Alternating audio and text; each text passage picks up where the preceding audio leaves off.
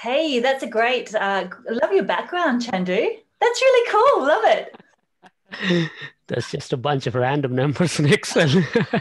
and lots of conditional formatting. Wow. Yeah. Cool. Are you going to keep that going like the whole time? No, not the whole time. It's just annoying already, but I'll just check what no, I start yeah, it's a bit distracting, but I love it. That's fantastic. Welcome, everybody. Oh, so fantastic to see so many people here already. Wow. Welcome, welcome, welcome. and hey, we've got people from all over. We've um, it is 12:30 here in Sydney. It is what time is it in Wellington, Chandoo? It's about half past two now. Okay, yeah, yeah, yeah. We're at, that's right. Our clocks went back the other day, and Susan yeah. is in Queensland. We are now on the same time, which makes things a heck of a lot easier. So I'm Danielle Stein Fairhurst. We've got Susan Wilkin, who is going to be um, helping out with the chat in the background. And of course, we have Chandoo. So this is a very special uh, webinar. We've been running lots and lots of virtual meetups. So um, thank you so much, Chandoo, for agreeing to do this. Um, we are today going to be talking about uh, introducing dynamic array formulas, which is really exciting. And I can't wait to see what you've got in store for us, Chandoo.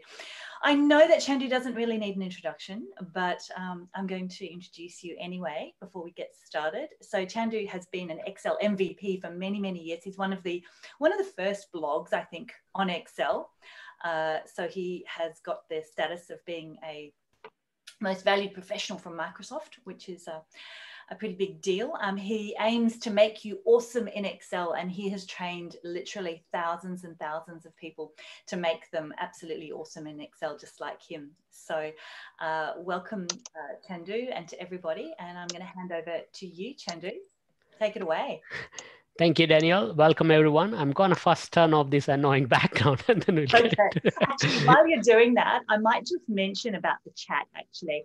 Um, you might notice if you're joining us live, um, if you're coming in on the uh, the recording, you won't see this, but if you're if you're live with us, you'll see um, a chat either at the top of your screen or at the bottom. There's a chat and a Q&A. If you're having any problems or questions or anything you want to talk to us about, feel free to go in on the chat with that. There's also Q&A so if there's a question that you've got for Chandoo, um, do that on the Q&A. You can also, other people can answer the, the Q&A as well. Uh, we may not get a chance to, um, to answer all the questions, depending on how many questions we have, but we'll certainly do our best. Oh, that's Thanks, you're, you're back in your you're, you're back in your spare room, Chandoo. Yeah, exactly. I'm back from that Excel spreadsheet. Hello, everyone. Uh, it's so good to see you all. Uh, we're going to look at dynamic array functions. Uh, this is one of the newly introduced functionality in Excel. It has been uh, kind of doing rounds uh, in the um, uh, testing and uh, Microsoft circles for about close to one year. But after all that built up, uh, finally the functionality is slowly coming out to public. And I thought uh, we could do a webinar where I can uh, showcase these functionalities and encourage you to test them out.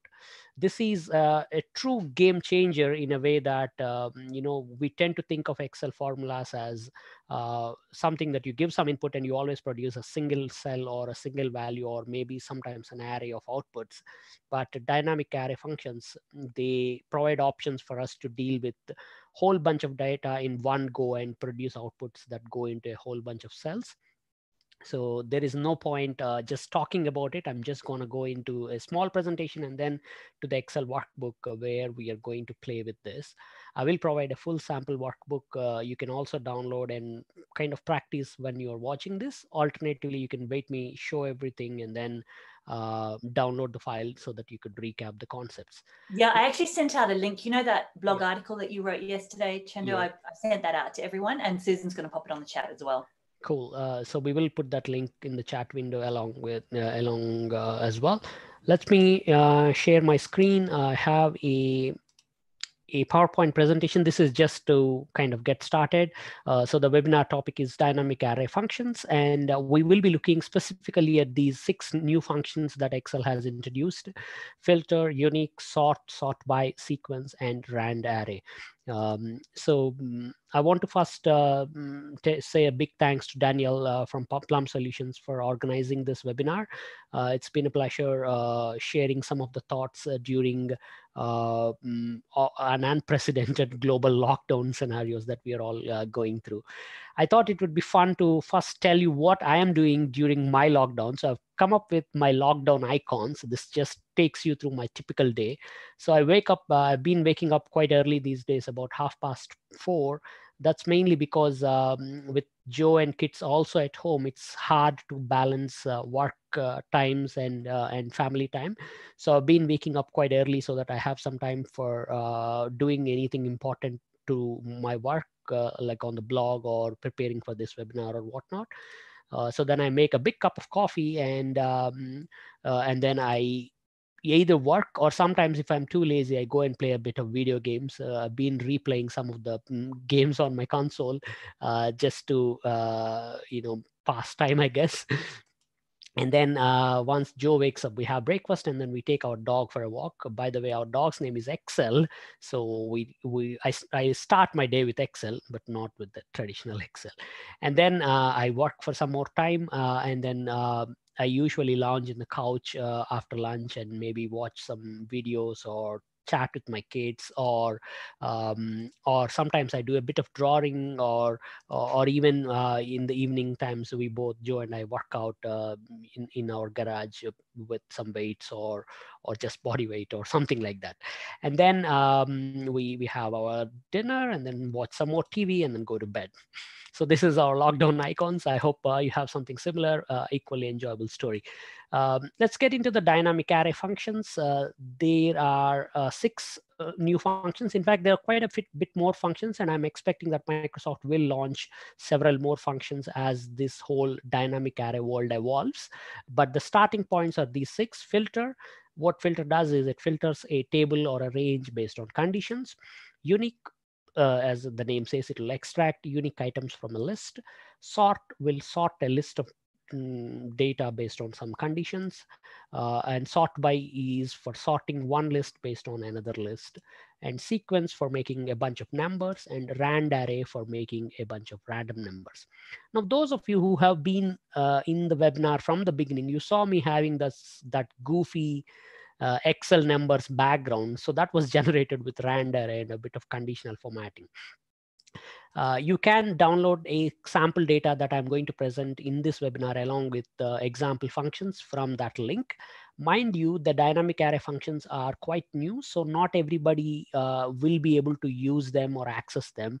Uh, at the moment, I think uh, Microsoft has provided these to certain parts of users in the Office 365 world.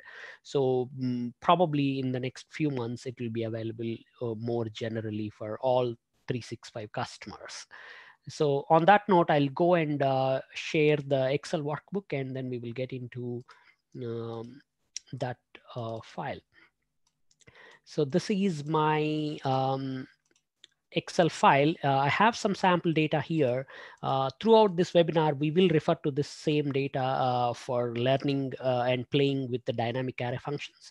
So you have a table of employee data with uh, several columns, names of employee, gender, department, where they work, how old they are, what is their uh, date of join, what kind of salary they are getting, what is their performance rating on a scale of one to six, and who is their manager. Uh, before even you write a single dynamic formula, let's first understand what this really means. In a traditional world, if I go to um, a cell and say equal to and then point to a cell, let's point to uh, something like that, we will get the value in that cell here. Now, the normal expectation when you work in Excel is that uh, you get a single value in a cell, like that formula returns one value. But uh, this data here, it is actually in a table, it is named data. Now, if I want to get a copy of this data, but as a reference elsewhere, uh, in the old days, you would have to make multiple references. So this would be B4, that will be B5, this will be C4 like that with the dynamic array world, what happens is you can write formulas that can return an entire range of values. It doesn't have to be a single value. So for example, you can go to a cell and then simply say data. Now remember data refers to that entire table. So your formula technically is actually a big range, not a single cell. And when you press enter, you get this big table here. This is exactly same as the data on the left-hand side, but now it has all of those rows. And if anything here changes, that will also change. For example, if the very first employee uh, is in procurement department and I change this to technology department, uh, this formula also updates. So this is uh, the behavior of dynamic arrays, right? What happens here is a single formula is now returning an entire range of values. This entire range of values are referred to as spill range. That means the formula is only in this cell N4, but it is kind of spilling down and sideways depending on how much data there is. So if you select BN4 cell, you can see that it is equal to data. But if you select any other cell, it's kind of grayed out, indicating that this cell doesn't really have a formula there. It's kind of empty, but it is actually spilled over from there. Right. So the result here is actually because it is all spilled over.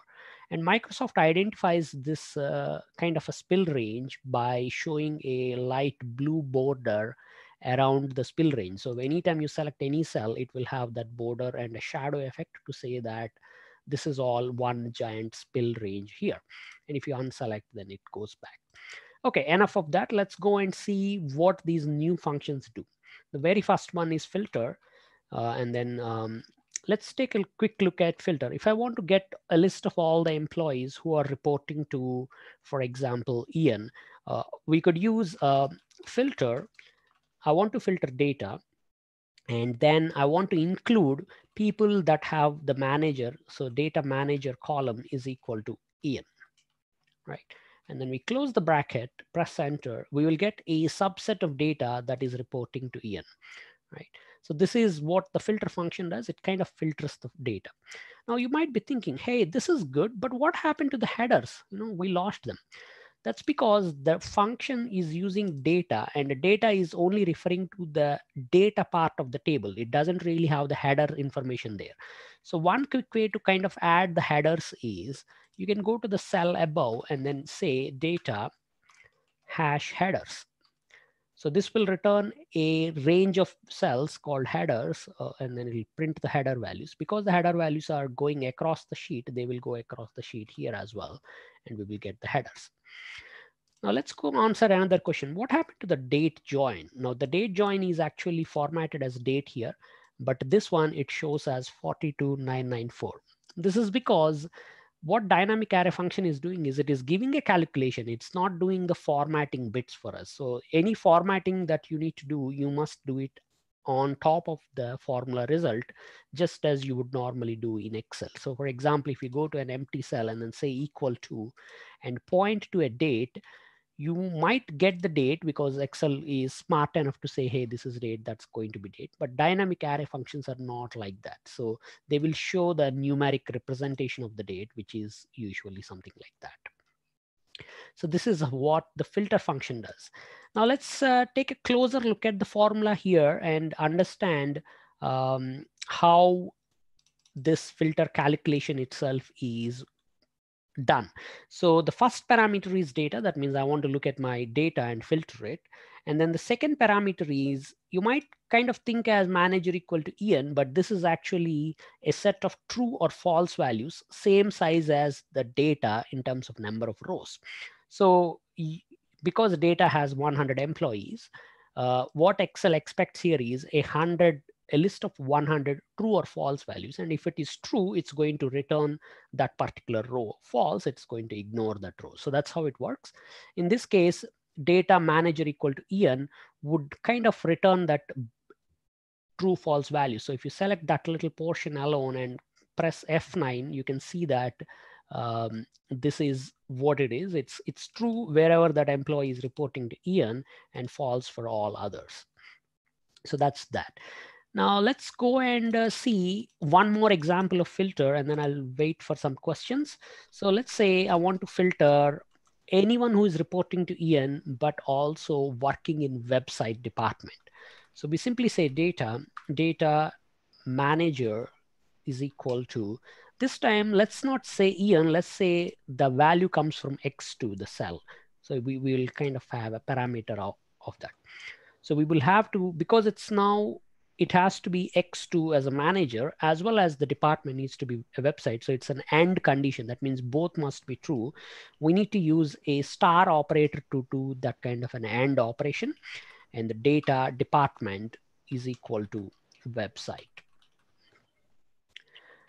So this will currently give an error because X2 is blank. So it's now trying to see manager is zero and department is website. That's what it is trying to do. And whenever that happens, you will get this new kind of an error called calc error, right? So that's one of the newer errors that Excel uh, added as part of dynamic array functionality. Um, if you don't want to see the error, you want to probably see something else. You can also try this if empty operation like uh, no employees. Technically, you know, nobody is reporting to zero as an employee manager. So that's what it is. And now if I put Ian here, it will give me a subset of employees that are reporting to Ian in the website department. So this is how that particular thing works. And you can change this to Carla or Chandoo, I don't work there, so nobody is reporting to me. So this is uh, how that particular uh, example of filter works. I'm just going to take a quick pause here and take a look at the chat window to see uh, Q&A. Um, yeah, not too many questions, Chandoo. Okay. Uh, uh, Chinmay was asking about how to define the table. It's just a named range, isn't it? Yeah, yeah. It is just uh, we have the raw data and you can press insert table and it will convert that into a table and you can give the name through the table name options here to have that kind of a thing. Um, and uh, that'll, that'll, then you can then use that name elsewhere. So this is uh, your filter examples. We have seen a simple example how to do an AND condition. Let's do one more, which is uh, if I want to have anybody who is uh, aged um, under, let's say we have uh, some sort of age boundaries. So aged under and then aged over. And I want to, for example, for some analysis, I want to look at anybody who is under 28 or over 40. And only that set of groups I want to uh, extract and, and then maybe do some analysis. Now, if you go and normally want to filter this in Excel, you would need to, for example, if I want to use number filters, I can't really use anything uh, like if I use between or something, um, this is not good enough for us because uh, it will get everybody in between. But what we want is opposite of it. That is, um, we, we, we are interested in looking at 28 or under and then 40 or over. So we will have to kind of manually select these age brackets to or unselect them, right? So that's uh, that's the kind of condition. Uh, the technical name for this kind of thing is an OR condition. That means uh, either this can be true or that can be true. So let's see how the filter fun function will work for that. So we want to filter. This time when you're filtering, we just want to see the names. We don't want to see the whole data for that. So we can just say, show me data name, filter name based on data age is under that, right? But uh, we also want to either less than or equal to 28 or more than 40. So it's an OR condition. So we will have to use the plus operator in this case. Data age is greater than or equal to 40. This will give you a subset of names that are fitting into that particular setup, right? I love that you don't have to worry about your F4 yeah you, you don't have to make any absolute references anymore. Uh, even though this is saying ai 2 here uh, it, it wouldn't become ai 3 or anything because none of these other cells really have any formula there. They are all uh, kind of belonging to that particular cell. So whatever formula is here that is calculating that entire list and then it is spilling down now let's uh, go and uh, and add some extra troubles here. For example, you are filtering and you can see that we have uh, maybe um, about 50 people in 46 people in this list, right? So um, I, I underestimated this list and I thought there would be maybe 10 people. So I had some other values here like so what we are trying to do is there is something here and we thought, oh, there will be only this many people. So we put something else further down. So now we have a formula that is trying to spill down or spill sideways. And there is something else that is stopping. In this case, you will get this hash spill error, which will also show some dotted lines around the supposed range where it wants to go and uh, the value that is stopping it. So when you have the spill error, that means your spreadsheet now has something else going on that is preventing uh, this formula from doing its work. So if you delete that, the error will go. Uh, and, um, and that's that. Okay, so that's your filter function. Let's take a look at the next one, which is unique function. What unique function does is sorry, there were just a couple just a couple of questions I oh, wanted sure. to cover off if you've got a sec. Yeah. Um, Rahim says it's just like an advanced filter in the data tab. Is that right? It's very similar to the advanced. It filter. is similar uh, in in the sense that you are uh, filtering the data, but uh, the crucial difference between this and other features of Excel is that uh, in an advanced filter scenario, you are doing something like you're filtering something and the result comes up. But if the criteria changes or if you need to filter again, um, then you will have to run the whole process there. Whereas this is all dynamic, right? This is actually in a cell. So if I change this to 33, I'll get a shorter list automatically here. In fact, I can build some extra calculations on top of this uh, so we are only looking at from a filter perspective. In, I don't care how, about the filter. Let's say I just want to count how many people are there. I can take that filter and I can put a count A around it. Uh, remember, these are text values, so we must uh, count text values. And I'll get the number here uh, as, uh, as that, right? So you have 80 people. So now this is a formula that is telling me how many people are under 33 or over 40. Of course, this is probably a poor formula. You could use some other versions of countifs or something to do this. But, uh, you know, nevertheless, it, this is how it works. Or uh, you can use that filter range as part of some other calculation. Like, um, uh, let's say this is comes up here. And now I wanted to see how many people out of these have Mm, their first name beginning with D for some whatever purpose. So we could use uh, countifs and then refer to that range. Because we want to get that entire spill range, we can use the hash operator uh, because we don't know how far that goes down, right? Because it's all dynamic.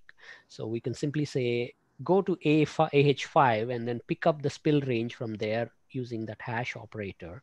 And then uh, tell me how many people begin with the D so we can use that and then it'll tell you five. And as you change this, for example, you make this tighter like 23, uh, nobody has D in their first name or um, or 29 and then you might have three people. So this is how uh, that works. So in a way it's quite different and it's it, it enables more opportunities for analysis and presentation once you start thinking in this direction and we've got a, got a uh, maybe a tricky one uh, from uh, Carlos in Peru. How do you call the header? I think what he means is how do you refer to the header? Yeah, so uh, I think I show it here. We can just say data, assuming it's in table, you simply say data hash headers and it'll get you that header. Mm -hmm. And Nelson wants to know if the table has a metric, can the data table include a subtotal at the end? Um, very good question. Um, the the tricky bit with uh, with spill ranges is we know where they begin, right? Because this is where I'm writing my formula. So I have the control of where they're starting, but you don't really have any control how far along they can go. So we can't really figure out mm. which cell the subtotal needs to be going. So it, it opens up another challenge. One option is if you're happy, you can print a subtotal above, like you know, count of people or uh, average age of this group or whatever uh, on on the top, and uh, that that that's all right. I don't really have a ready answer for how to get the subtotal in between or uh, at the end, because that's gonna make uh, for some very complex filter or some other type of formula for sure. Yeah, yeah. It ends up like a basically like a table, doesn't it? Or, or a, yeah, or a, yeah, exactly. Um, yeah, Jonathan says um, Charles Williams has an add-in to give subtotals for dynamic array. Yeah, so there are uh, some other solutions. Um, I think once we start to think in this direction, because this opens the doors for data analysis in in a much more parallel way than uh, than traditionally done in Excel. So then you keep asking for more. Like you would come across situations where uh, these six formulas are not enough, and you really need something more. Uh, I hope we don't get there today, but uh, you know, those of you who have already been toying with them or want to play, you will come across situations where they are not enough. Yeah, and uh, still under development. They're still working on it. They're bringing out yeah exactly so i'm quite positive that microsoft is also paying attention to this kind of feedback and they eh, they will add more functionalities as and when possible okay let's go and talk about unique. Um, the good thing with these six functions is they, they're all fairly straightforward. So once you know their name and basic syntax, you can pretty much work on most of them uh, in, in a very straightforward manner. Um, so I will not uh, spend too much time on the simple examples, but uh, let's see how far we go. So we can have uh, extract a unique list of items. For example, I can say, get me a list of all the departments. Um, and then this will give you those um, seven departments. And remember, I changed one of them to tech. Otherwise, the data doesn't really have tech. There's only five departments there. Um, and uh, so this is the unique list. If you compare this with just data department, you know, this is a list of all the departments of 100 people. So this will be 100 long. Whereas what unique did is it kind of put one row uh, for each department. And if there's a duplication, it automatically ignored. So that's what unique does. Uh, unique has an extra couple more parameters. So if you, the default behavior is take a column and then you are extracting unique elements from that. But for some weird reason, your data is sideways and you want to extract all the unique elements across the row, uh, then you can use the by call option. And then there is an additional one called exactly once. Uh, again, these are quite um, not day-to-day -day situation, but sometimes you may want to know what uh, what those are. For example, uh, if you go to the data, you can see that we have a date of join, right? And uh, we have a suspicion that you know most of our recruitment is done in batches. That means we hire people and then multiple employees join on the same day.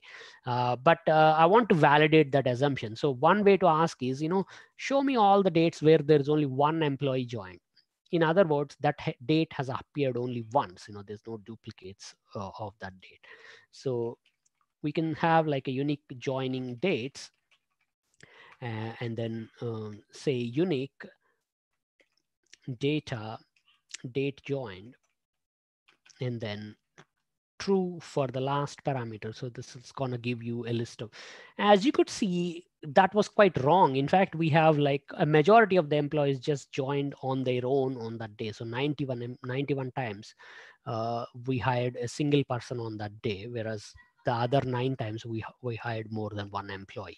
So this is uh, what that is. And as you could see, this only shows up the dates as they are. It's not going to do any formatting.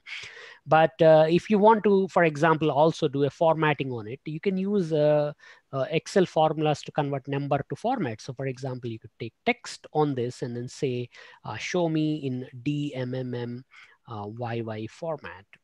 And this is going to just create a bunch of values that are in date formats right there. So the dynamic array functions are not just these functions, you know, it kind of changes the whole behavior of Excel, right? It's now taking uh, a text formula and then thinking, oh, wait a sec, I have not a single value here. I have a whole, whole bunch of values. I'm going to just make a whole bunch of text values and present them uh, in. So in cool. That's so cool. Yeah, thank you. Um, so that's the unique function. By default, it works on one column at a time, but you can use some trickery or um, ideas to take values from multiple columns and combine them to uh, make um, make unique combinations, etc. Uh, and in the link that I provided, there is an example that shows how to do that. So let's go and uh, take a look at sort as well what sort does is it sorts a list of values. So for example, I can just see an alphabetized list of all our employees by saying sort data name. It's very, very simple, straightforward formula. Takes the name, sorts them A to Z, and you will get the results. If you want to reverse the sort order, you can also um, say, uh, ignore the second thing and then say minus one, and then it'll give you from Z to A order of the names. So that's what sort does. Now let's go and uh, see some more examples of what sort can do. You can take an entire table. So we can say sort my entire data table uh, on, on the sixth column. This is similar to how you normally write VLOOKUP formulas, also use the column number. So six is actually salary uh, in in minus one, which means descending order. So that means I want to see the employees in the reverse order of their salary. So most paid person will be on the top, and uh, this will this will give you that kind of a picture. That person and that salary column is sorted. what sort does is it takes the values and it sorts one column at a time. There is some additional usages that you could do, but in general, this is the behavior of, of sort. So sometimes you may want to apply tiered sorting. That means I want to see by department and within department by salary, you know, those kind of things.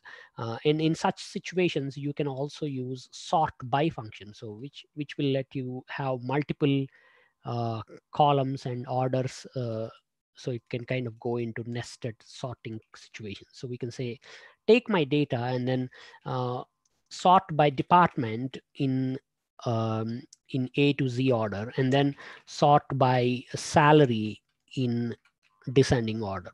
So this will have all the departments, uh, finance, because that's the very first department in alphabetical order, and then their employees, uh, HR, and then their employees.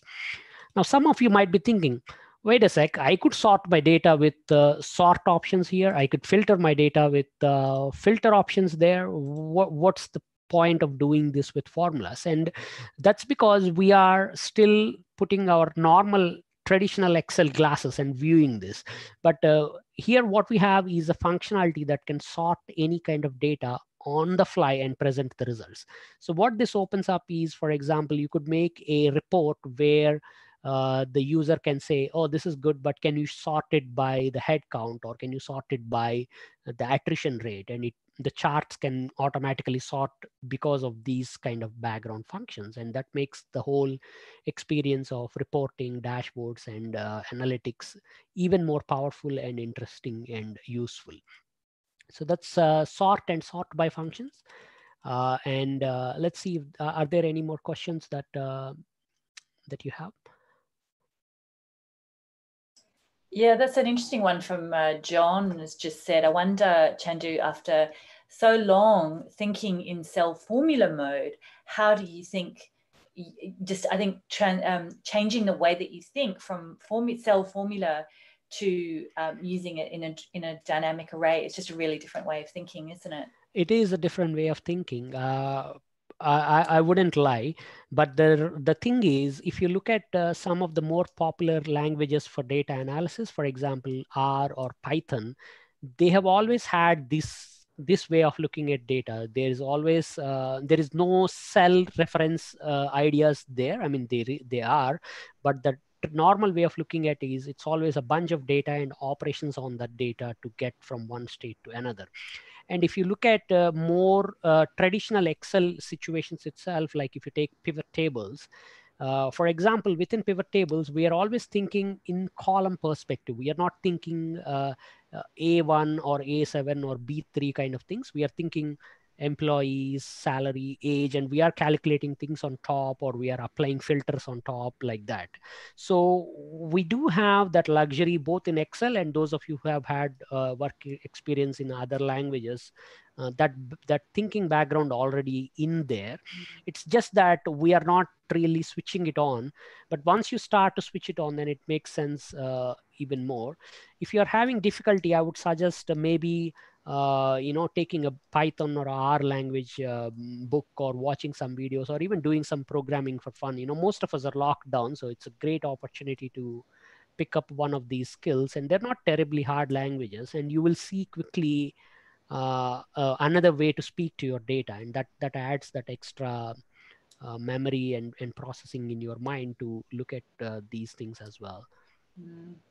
Yeah, I think it's. Um, I mean, Power BI is is, is similar in that you're only looking at from a column perspective. You can't do individual cells. Whereas, what I love about the dynamic arrays is you can do both. You can sort of have exactly. So it kind of has the good middle ground, and uh, it gives you both. yeah. Mm-hmm. And uh, yeah, uh, we had the we had a, a virtual meetup last week with um, Jeff Robson, and he talked about how to build a financial model mm. um, using dynamic arrays. So you can kind of get that um, that idea of having individual cells as well as using dynamic arrays, which is which is fantastic. Yeah. Um, sorry, just one, just a question from Amro. Um, he says, um, "Sorry, could you just go over how it's different the sort by the sort and the sort by filters again?" Uh, cool. Yeah. Uh, sure.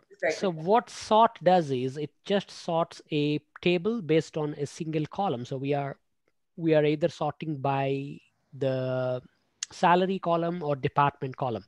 We couldn't really have like, I mean, uh, both department and then within department by salary kind of a thing going on. So that's where the sort by comes handy, where you can say, I want this data to be sorted by uh, first by this array in in in um, in ascending order and then by this array in descending order. So because all these people happen to be in finance, so then Excel will go into that column and then arrange them in that order. And then it will go in and do it like this. So that's what sort by does it. Uh, there's some more technical differences in the background, but uh, in, in a broad sense, this is how they both differ. Uh, sometimes you you want to use sort, sometimes you want to use sort by. Um, let, us uh, let's see, we got four functions, right? We have filter, sort, sort by, and unique. Let's see how the whole thing plays together when you start to combine them. For example, I want to uh, have a, a simple employee report here, uh, which is viewed from a manager perspective. So I'll have uh, a manager, and then I want to uh, I want to select one of the managers and then I want to see their staff along with some summary information on the top. So we could first, uh, we will first extract a list of managers here. Um, and then this is simply sort unique data manager. So this will give you that. And remember, this is in BY5. That's the cell address there. So I'll go to this cell. I go to data, um, data validation and then I'll say, take a list that begins from by5 hash uh, because it's a spill range. So this will give you a little drop down. It will give you all those five names in alphabetized order because that's how this is, right? I can pick any employee manager there. And then once that is done, I want to then um, show their staff, uh, your staff. And then this is filter um, data data manager is equal to that. Okay. Uh, we nearly got a spill error. All right, so this is uh, Cynthia staff. You could just uh, play with this and it will change obviously, you know, as you would expect. Um, let me zoom down a bit so we can actually see more of this. All right, so that's there. And now let's say we will also want to have a sort by as an option, and I want to be able to pick one of the columns to sort my data. Um, and um, so we will have uh, column names here. Uh, it's not necessary to have this here, but it just helps us. So we will say um, data hash headers, that'll give you there. Now notice the difference between this and that. That one is going down, whereas this is going sideways, okay? What happens if you refer to this spill range for sort by? So we'll give another data validation list. Okay, so it, it will still work, but it kind of looks a bit awkward. So one way to kind of turn sideways data into regular column fashion is you could use transpose function and it will transpose the data. Now, transpose is an older Excel function. It's not one of the new ones. It just happens that most of us would not even use transpose on a day-to-day -day basis. So you wouldn't even know that it existed. Um, but it, it is still, um, so I want to now sort this by name. Um, and, uh, you know, I'll just move this down a bit here and then I'll also add the headers. Makes more sense let's uh, make them bold and uh, fill up some color in there. Okay, so now I want to sort this by name. And as you make the changes, you want the data to change. Now it works when you select, you know, it is filtering, but it is not really sorting. So we will rope in the sort option as well. Sort, sort this data on on name column, but unfortunately, you know, this expects the number, not name. So we can take uh, name and put it in match function. We can say name match that selection in the in the spill range here uh, with an exact match. And it will have that data there. And you can then see who joined earlier or what is the salary or mm, obviously there's no point doing manager, you know, like that. And, and uh, this will, this is now combining all those ideas, right? We have used unique, we have used filter, we have used sort, etc., etc., to uh, do that. We could go one more level and sorry. add. Sorry, sorry, go ahead. Chandoo, could you just show us again um, how that drop down, that data valid, the the formula when you did that data validation drop down? Mm-hmm. We just did a little. Can you just show us again? We just had. Yeah, sure. Um, so we would go to the data validation and then select list and you would refer to the very first cell where the data begins. So this would, in this case, uh, it was in BY, but I moved it to CA now. So that's the cell, that's the very first cell. And then you simply put the hash symbol, pound symbol. So that's the operator that will take the range and it will fill it down as many cells as they are. So because we, we don't really know how many managers are going to be there, we can't really say uh, CA5 to CA7 or 9. We simply say hash and it will look, it look at that formula and it'll fill it down and then it'll just take that entire range there. Same idea for the, for the column names as well. Cool, thanks. Okay, um, so the th this is how these functions can play together to create something that is uh, a little more um, powerful or interesting than than the ordinary things that we normally can. I mean all of this can be done with regular excel formulas as well but uh, they tend to be more clunky and clumsy. And in many cases what happens is even these cells will contain the formulas. They simply have blank cell returned as a value because we don't know how many are going to return. So we would normally write formulas where there's like 100 rows or something like that. And and uh, if there is no value then we stop it but with with the dynamic array functions we don't have to worry about any of that and it all works beautifully. Let's take a look at the two other functions. Now if these four functions seemed fairly interesting the next two might look like oh what was microsoft even thinking with these functions? One of them is sequence right? Again these functions by themselves are not terribly useful but when you think in the direction of lists and arrays and tables you know they make powerful um, sense. For example, what sequence does is it just makes a list of numbers. So we can just say sequence 10 and it'll give you 10 numbers.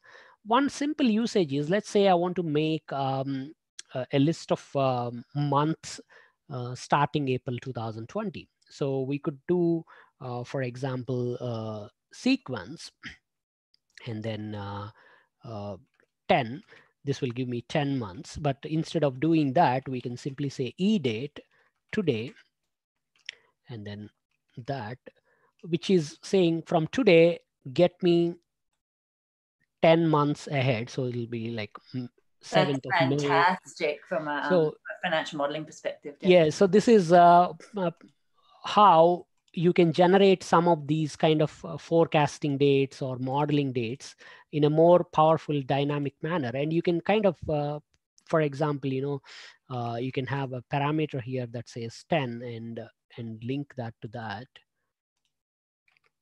so if I want to generate a window of 12 months or 24 months, now you see that as, as it does, it doesn't really extend the formatting. So this is really just the formula, whereas the formatting is still attached to a cell level.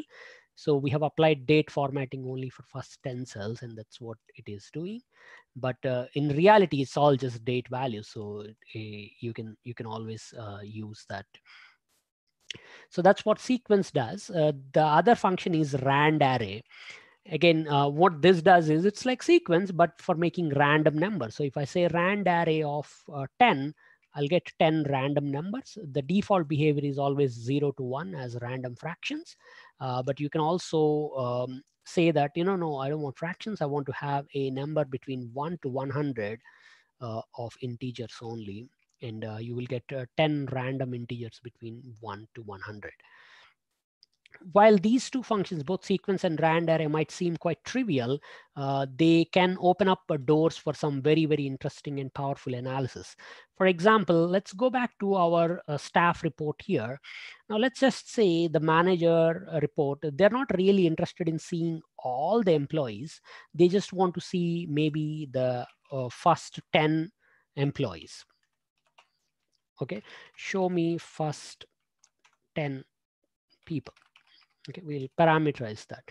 Now, how do I filter this, this set of data so that it only has the 10 rows after doing the sort? This is where we can do the sort and then we can do one more filter on top of it.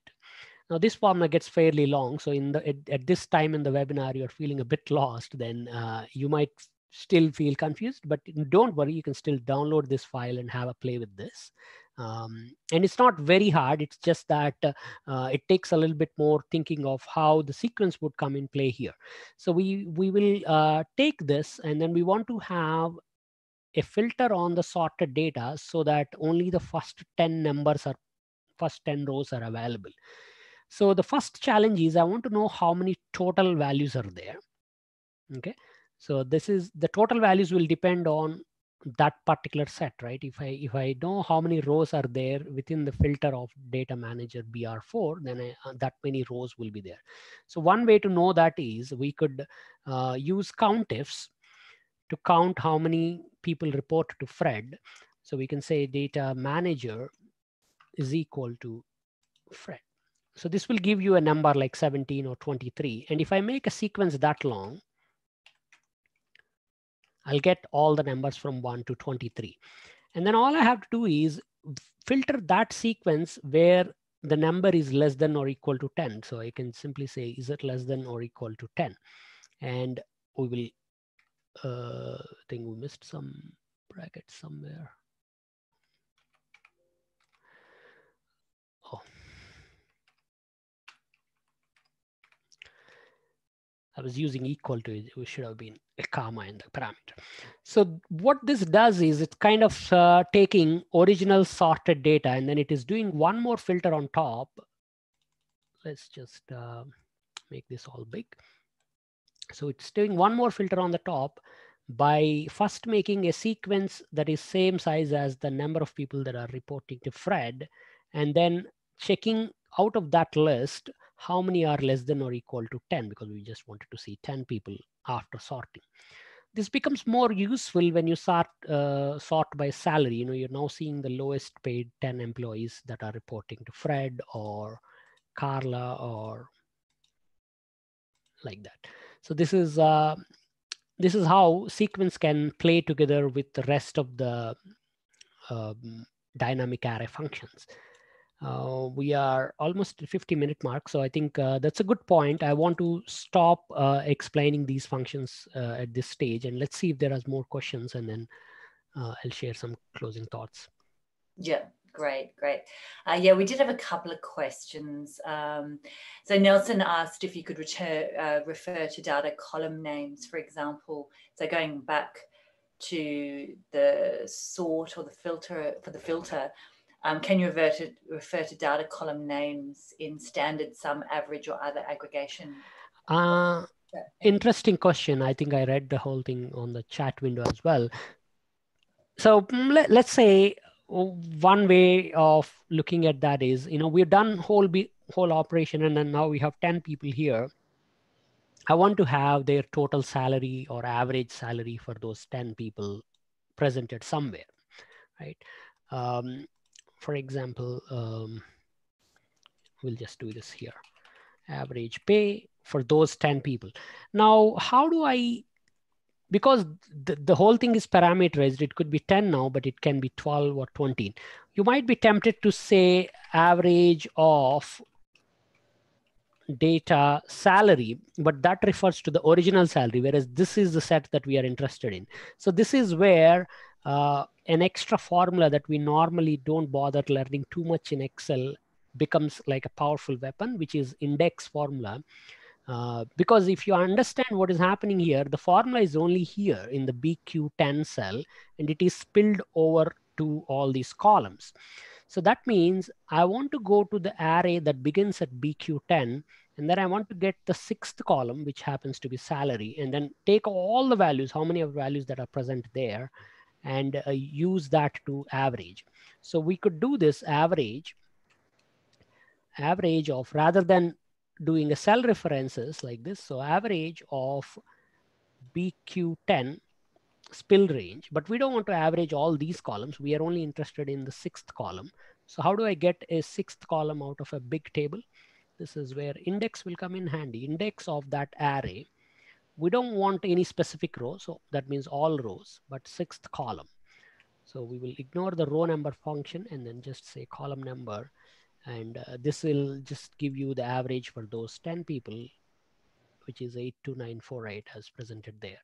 And you can start changing this. Uh, it will work obviously so this is one way of doing uh, we could also try i'm not 100% sure if this will work because uh, yeah it doesn't because bv10 that particular cell doesn't really have a value here. It, it, all the values are actually here and from there they go. So we can't really refer to anything there. Uh, even if i use the spill range operator it would not recognize. Uh, let's see what happens if i do it like this it would work, but if I change the number here to 13, then that number would change because it is now paying attention to those three people, whereas this one stopped at the 10. So uh, yeah.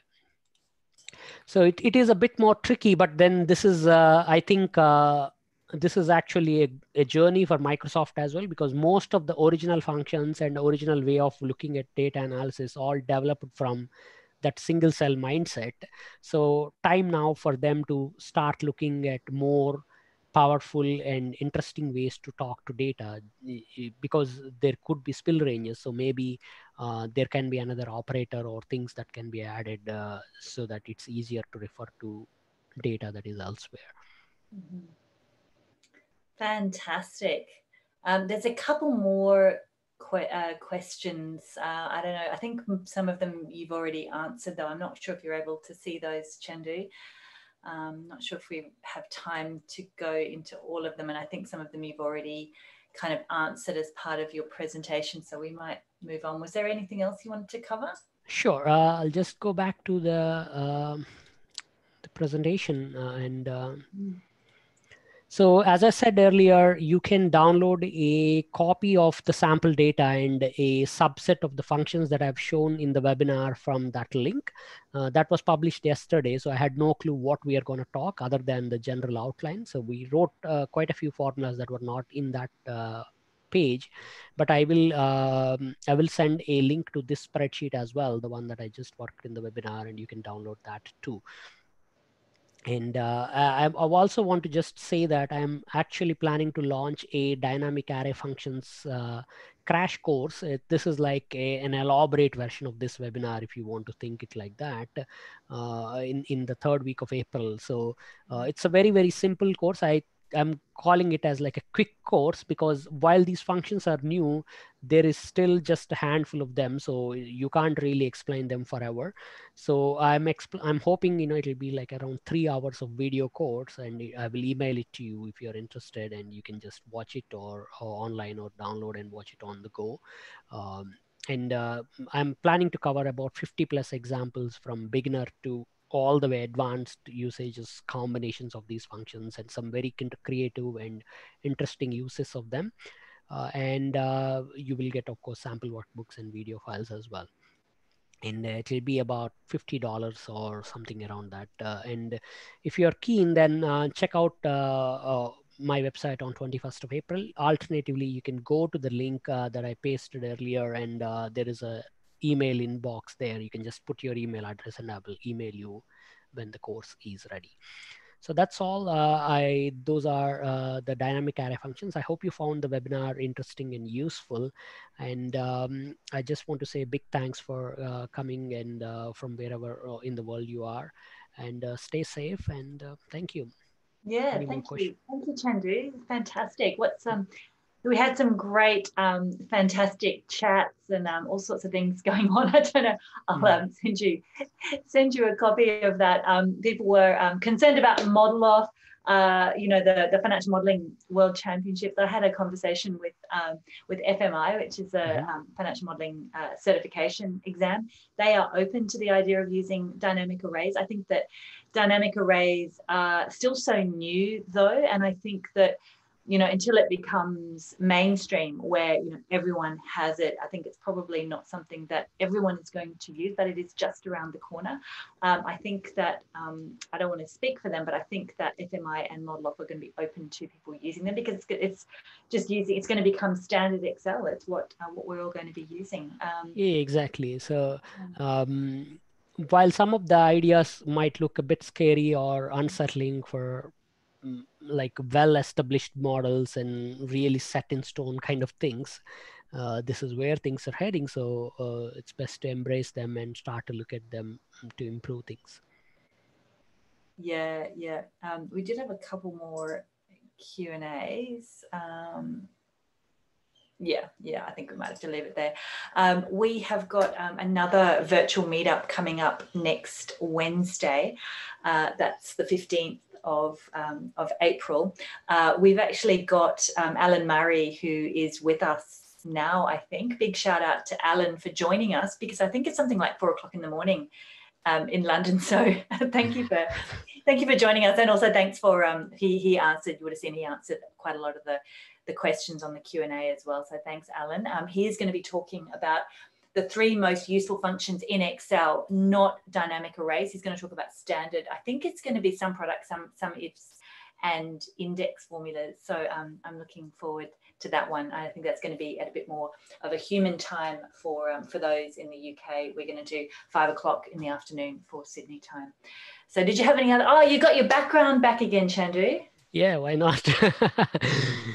so that's it. Uh, that's my dynamic Arab background as well. love, uh, it, love it. Love it. All right. Thank you, everybody, for joining us. I will um, certainly send out all of the links, all of the, the recording, and all of the, uh, the the files and everything. You'll get all of those, and I'll see you next time. Thank you.